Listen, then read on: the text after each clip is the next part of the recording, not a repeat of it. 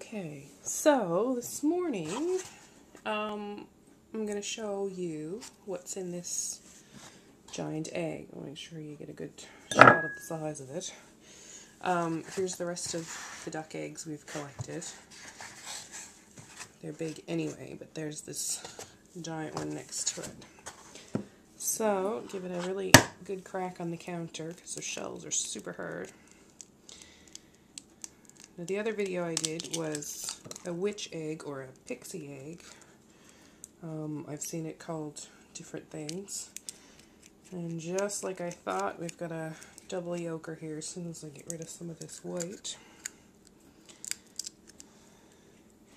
So I'm not sure which duck is laying, and I don't know if you can see that. Two yolks, that's so cool. We got one last week, and uh, another one this week. And so we have an extra duck laying. I have to figure out who's who and who's laying what. So that's it. That's our double yolk. And we'll keep track of all the odd eggs that we get on the farm from now on.